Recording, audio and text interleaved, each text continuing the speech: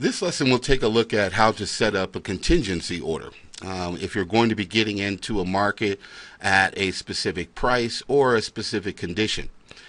When we're using a contingency order, we're going to be using the click chart to buy or click chart to sell to create these orders. Let's say we're going to be setting up an order here for Microsoft. We'll get into the position. So we'll click chart to buy, left mouse click, and we get our confirmation window here's where we can make our adjustment. Now we'll submit the order. Now, to set up our stop loss and profit target with this contingency order, we could use auto exit. We can't use the bracket order button because bracket orders are can only be set up for bracket exit if the position is already filled.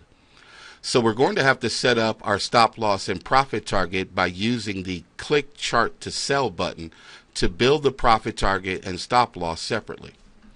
So first we'll click on click chart to sell. Place your mouse cursor at the price range for your stop. Now we'll need to go down and set up our advanced settings for this order. And again, this order is not going to trigger until our buy order is filled. So we'll check the box to submit this order when the buy order from Microsoft has been filled. Now we'll click the submit order button. We'll repeat the same process and click chart to sell.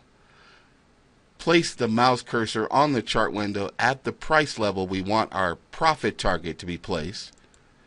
And we're going to set up our advanced settings again. Setting up the trigger buy order